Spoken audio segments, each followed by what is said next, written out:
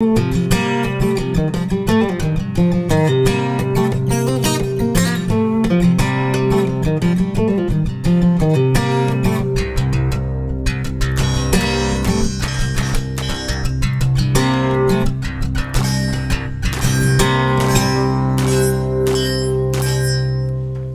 folks, guns, gear, and on-target training.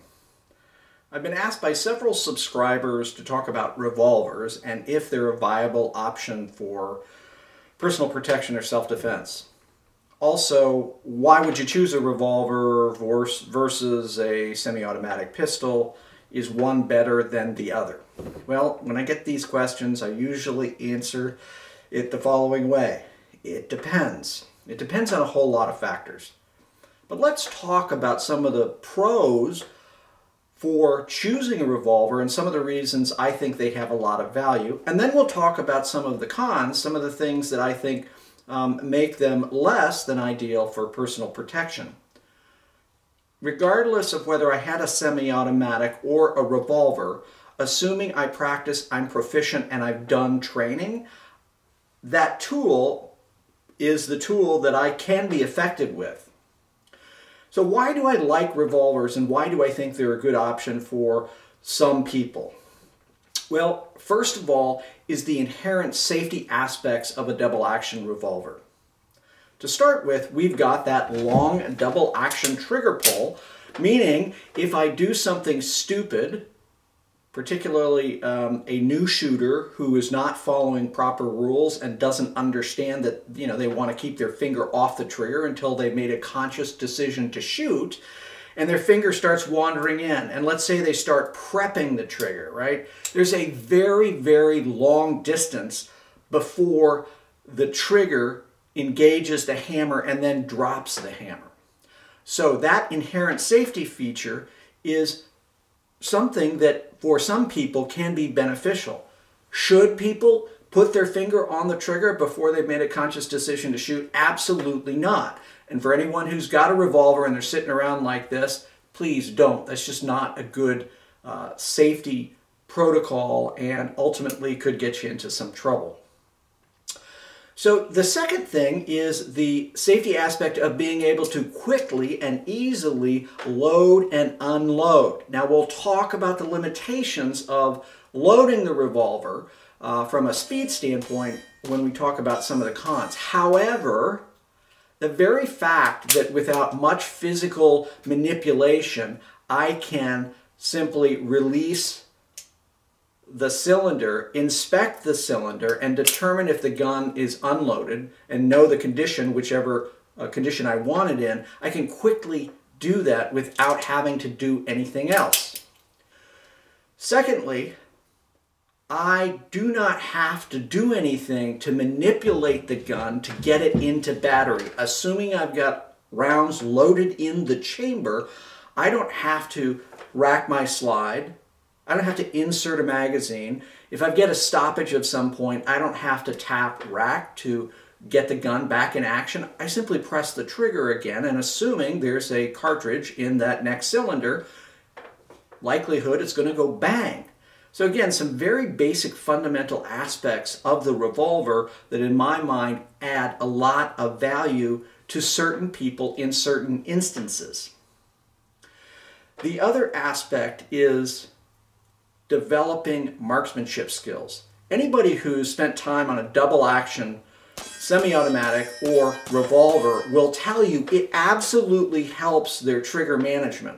And the reason for that is, obviously, as I, and I'm doing that with this beautiful Model 19-3 because it has the target trigger on it and the trigger is so very good.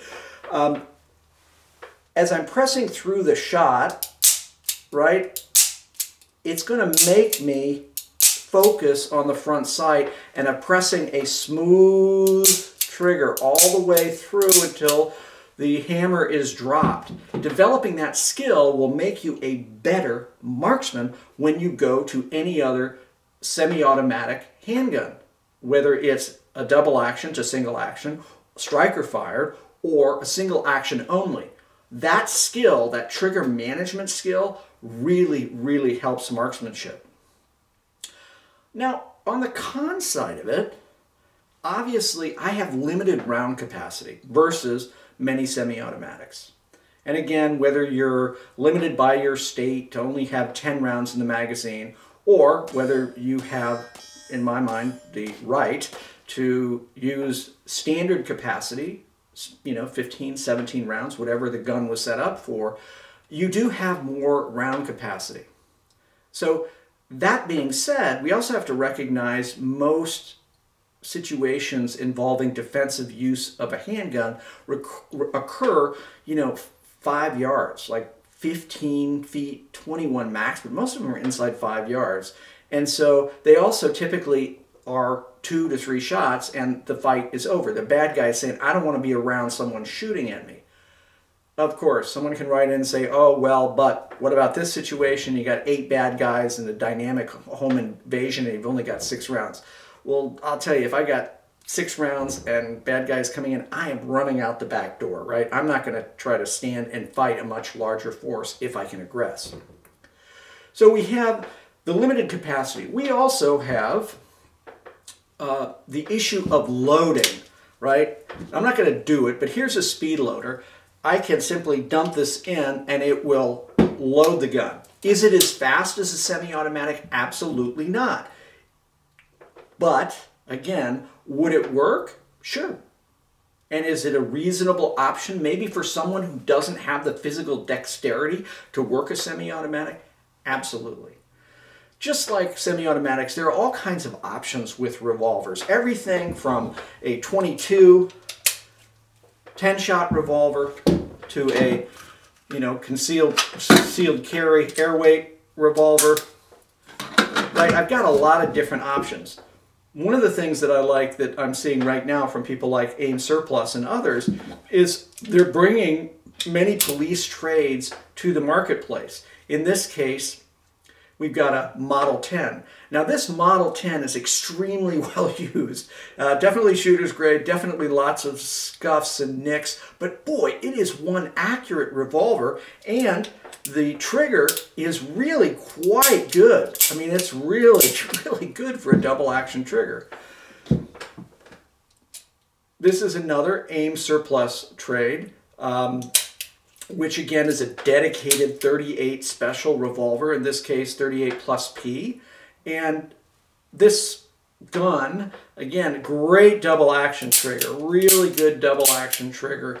And so I can shoot up to, you know, plus Ps in this 38 special, all good.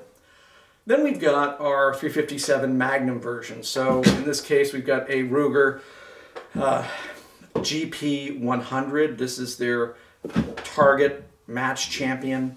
So it's got some bells and whistles on it. Uh, shoot 38 specials, 357, big, heavy gun. Very, very comfortable to shoot. Again, very good double action trigger for a stock gun. Very good.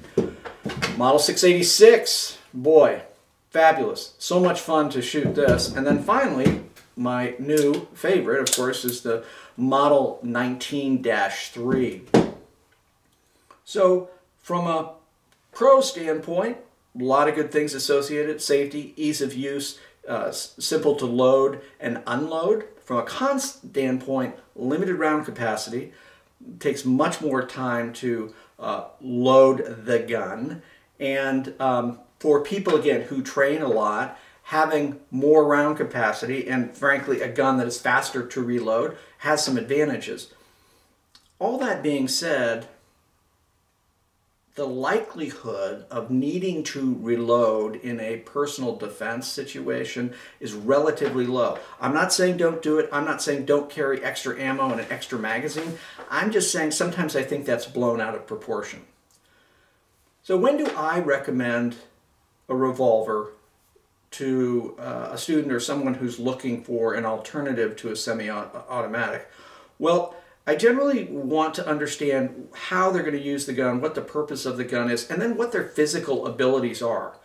Even with my physical handicap, right, I, have been able to overcome some of the limitations other people had just through sheer uh, hours and hours and hours and hours of practice. And the idea of a simplistic, easy to use defense tool like a revolver makes it a really good choice for people who don't want to spend time or money doing a lot of training, people who physically don't have the dexterity, and people who want just something that's simple. Gun doesn't go bang, I press the trigger again. That simplicity has a lot of value in my opinion. So bottom line guys, I think revolvers are a good option for personal protection. They're usually not my primary choice. I'm just more comfortable with um, striker fired guns that I've spent you know 30 years training on. Uh, I like having a little bit more capacity, even if I've got you know my M&P Shield that has you know eight rounds in it, right? I, I still like that over my you know five shot Smith. That being said, this is one reliable gun and it's very easy to operate and you know other people in my family don't need a lot of training on the revolver not as much as they would with a semi-automatic. So i hope that answers some of the questions about why someone might choose a revolver and if they are a reasonable option for personal protection Guys, I appreciate you sticking with me through this long video. If you like what we do, I'd ask that you subscribe and share it with your friends and family. We obviously uh, appreciate all the subscriptions that we get and all the comments that we get, and so keep them coming. Finally, and as always, stay safe.